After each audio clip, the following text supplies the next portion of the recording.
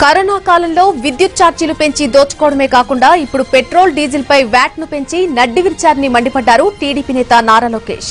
Litre petrol పై ఒకటి point రెండు నాలుగు పైసలు అలాగే డీజిల్ పై తొంభై మూడు పైసలు పెంచినట్టు ఆరోపించారు. ఈ నిర్ణయాన్ని ప్రభుత్వం వెంటనే వెనక్కి తీసుకోవాలని డిమాండ్ చేశారు టీడీపీ నేత లోకేష్.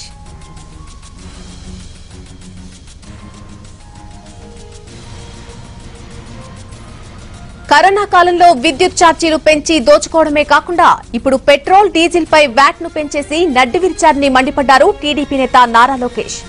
లీటర్ పెట్రోల్ పై ఒక రూపాయి ఇరవై నాలుగు పైసలు అలాగే డీజిల్ పై తొంభై మూడు పైసలు పెంచినట్టు ఆరోపించారు.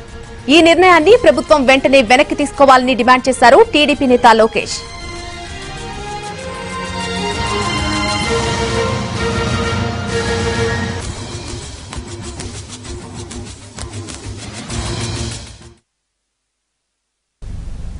ఏపీలో పెట్రోల్ డీజిల్ పై వ్యాట్ను పెంచడాన్ని ప్రతిపక్షాలు తీవ్రంగా ఖండిస్తున్నాయి. కరోనా కాలంలో నాలుగు రూపాయలకు వ్యాట్ను పెంచడం దారుణమన్నారు టీడీపీ నేత సోమిరెడ్డి.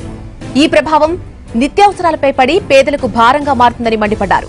తమ ప్రభుత్వ హయాంలో రెండు రూపాయల భారాన్ని తగ్గించినట్టుగా ట్విట్టర్లో స్పష్టం చేశారు సోమిరెడ్డి.